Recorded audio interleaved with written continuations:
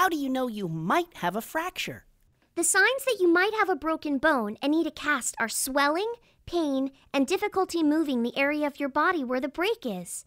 Sometimes it hurts so bad it'll make you sick to your stomach, but sometimes it barely hurts at all. How do you know if your broken bone is healing properly? If it starts to hurt more or becomes numb, you should go to your doctor right away.